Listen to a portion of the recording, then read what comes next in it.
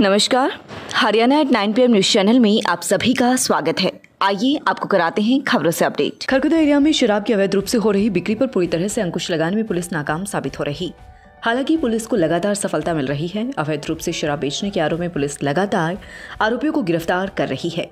शनिवार को भी पुलिस ने एक ऐसे युवक को शराब सहित गिरफ़्तार किया, जो मोटरसाइकिल पर गत्ते की पेटी में शराब रखकर सोहटी गाँव के पास ईट भट्ठों पर फेरी लगाकर बेच रहा था। पुलिस को जैसे ही इसकी सूचना मिली तो पुलिस ने छापामारी करके युवक को शराब सहित गिरफ़्तार कर लिया। युवक की पहचान खांडा गाँव के विजय के रूप में हुई है। मौके पर गत्ता पेटी में चेक की तो पेटी में 11 बोतल देशी मार का संतरा बरामद हुई। निजामपुर गाँव में पीने के पानी की समस्या को लेकर ग्रामीणों ने दिल्ली रोड पर आकर प्रदर्शन किया। इस मौके पर उन्होंने मांग की है कि गाँव में पेयजल सप्लाई की व्यवस्था करवाई जाए ताकि ग्रामीणों को शुद्ध पेयजल नसीब हो। इस संदर्भ में ग्रामीणों ने मामले की शिकायत Kharkhoda legal service committee chairman को भी दी थी। जिन्होंने जन स्वास्थ्य विभाग को शुद्ध पेयजल आपूर्ति के निर्देश दिए थे, लेकिन जन स्वास्थ्य विभाग की तरफ़ से निजामपुर गाँव में अभी तक पेयजल की व्यवस्था नहीं करवाई गई, जबकि निजामपुर खुर्द गाँव की चार कनाल भूमि पर जन स्वास्थ्य विभाग बूस्टर लगाकर दूसरे गाँव को पेयजल सप्लाई कर रहा है, लेकिन निजामपुर गाँव में भी समस्या बनी हुई है।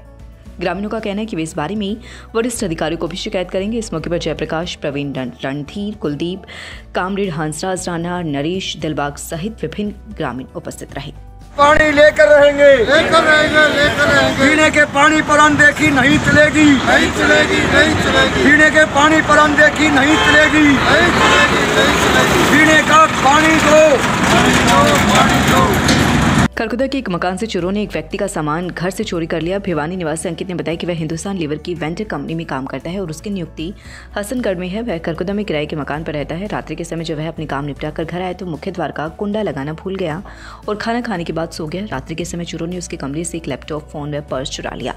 पर्स में उसका Aadhaar card voter card PAN card driving licence थे। पुलिस ने शिकायत पर मामला दर्ज कर छानबीन शुरू कर दी है। आम आदमी पार्टी विधानसभा अध्यक्ष नवीन दहिया के नेतृत्व में फरमाना गाँव के पदाधिकारियों की टीम पहुँची। फरमाना में अनिल कुमार ने अपने पंद्रह साथियों के साथ दिल्ली मुख्यमंत्री अरविंद केजरीवाल की, की नीतियों से प्रभावित होकर आम आदमी पार्टी को ज्वाइन किया। खरगोदा विधानसभा अध्यक्ष नवीन दहिया ने कहा कि पार्टी की नीति स्वास्थ्य शिक्षा की है। जिला उपाध्यक्ष राकेश नेहरा ने कहा कि दिल्ली जैसा विकास हरियाणा में भी ज़रूरी।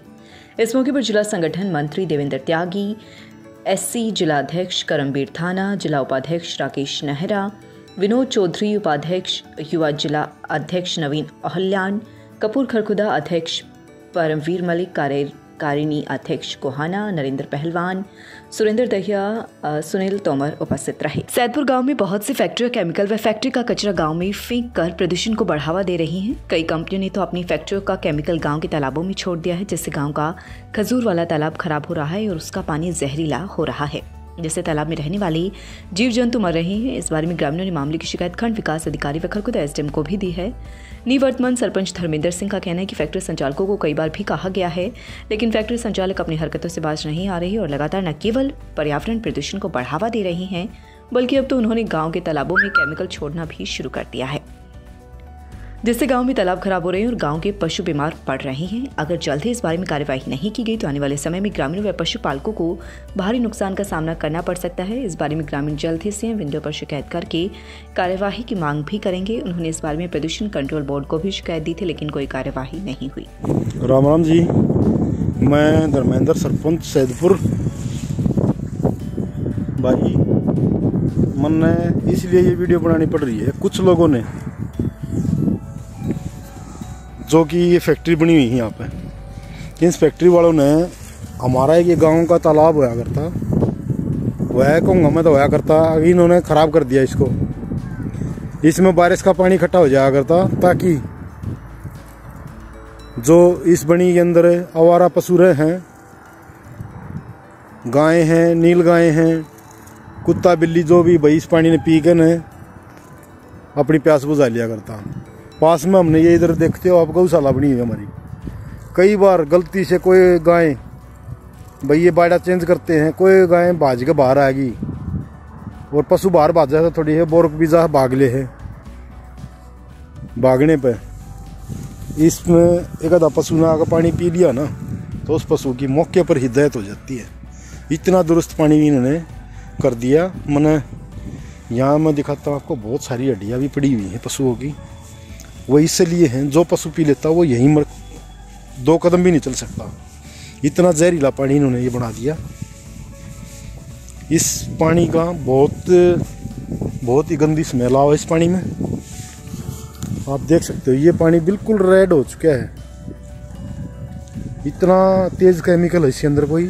ये देखो, ये पशुओं की हड्डियाँ भी यहीं, कई गायें, कई बार देखा हमने यहीं दफन कराना पड़ता उनको जैसे भी बुला कर लेकिन ये लोग अपनी हरकतों से बाज नहीं आ रहे। मैंने इनको कई बार नोटिस में दे दी इनके तो भाई तुम ऐसा मत करो, ये पानी देखो। बिल्कुल रेड बना दिया इन लोगों ने। बहुत ही गंदी हालत कर दी इस तालाब की। ये तालाब करीबन तीन एकड़ ज़मीन में है यहाँ पर पंचायत की। ये सारी ज़मीन पंचायत की, पंचायती लैंड है। इन्होंने एक यहाँ पर ये कूड़ा डालने का, गंदगी डालने का अपना ठिकाना बना लिया। इन्होंने अपनी जागीर समझ लिया पंचायत की ज़मीन को। ठीक है, मैं चाहता हूँ प्रशासन से इन पर कानूनी कार्रवाई करी जाए और इस तालाब को साफ़ करा के और दोबारा से उसी प्रयोग में लिया जा भैया प्रयोग में आ जा, इसको साफ़ कराया जाए ताकि आवारा पशु जो यहाँ घूमते हैं जंगल में, ये नील गाय हैं या भाई हमारी गौशाला की गाय भी निकल आती है बार कई बार, वो इस पानी को पी लें तो उन पर ऐसा इफ़ेक्ट ना हो भाई, ये गंदा पानी, उनकी जान को जान मान की हानि ना करे बेचारों की। क्योंकि वे बेसहारा जानवर हैं। वे बोल नहीं सकते। लेकिन हम तो बोल सके हैं, हम समझ सकते हैं, जो गलत काम है, उसको रोक तो सकते ना। जनहित अभियान फाउंडेशन द्वारा गाँव कवाली में रक्तदान शिविर लगाया गया इस अवसर पर मुख्य अतिथि प्रिंसिपल धर्मप्रकाश दहिया, रामप्रकाश हुड्डा व देवेंद्र दहिया ने शिविर का उद्घाटन किया। फाउंडेशन अध्यक्ष नरेंद्र हुड्डा ने बताया कि रक्तदान शिविर में उनासी रक्तदाताओं ने रक्तदान किया। इस अवसर पर मास्टर नवीन, नरेश मास्टर बिदलबाग सिंह, अध्यापिका गीता, प्रवीण वर्मा, सोमवीर दहिया, राहुल सिंह, पंकज दहिया, गौरव दहिया, सचिन, मास्टर राजेश, नरेंद्र पाराशर संदीप पाराशर मनोज दहिया, राहुल सिंह, आज़ाद गहलावत, मोहित वर्मा, दीपक वरुण शर्मा उपस्थित रहे। रोहतक ज़िले के सांपला खंड के गाँव गढ़ी सांपला में उपायुक्त कैप्टन मनोज कुमार निर्देशानुसार खंड सत्रीय खेल प्रतियोगिता का आयोजन किया गया। प्रतियोगिता नेहरू युवा केंद्र रोहतक के तत्वाधान में चौधरी छोटूराम युवा क्लब के द्वारा आयोजित की गई। इस खेल प्रतियोगिता में तीन तरह की दौड़, कबड्डी रस्साकस्सी व लंबी कूद का आयोजन किया गया। कोच आनंद द्वारा कबड्डी, लंबी कूद के परिणामों का निर्णय लिया गया। इस प्रतियोगिता में आयोजनकर्ता देवेंद्र पहलवान ने सभी प्रतिभागियों को नियमों से अवगत करा। खेल शुरू करवाए। लीलू पहलवान व फौजी संजू ने प्रतियोगिता के आयोजन में सहयोग किया। उन्होंने कहा कि सभी प्रतिभागियों को आशीर्वाद देते हुए कहा कि खेलकूद हमारे जीवन का एक हिस्सा है। यह तो हमारे बड़े बुज़ुर्गों ने भी कहा है कि पहला सुख निरोगी काया, खेलकूद के माध्यम से अपने शरीर की बहुत सारी बीमारियों को भगा सकते हैं। अब आपके अस्पताल में एक फरवरी 2022 से न्यूरो सर्जरी की सेवाएँ उपलब्ध।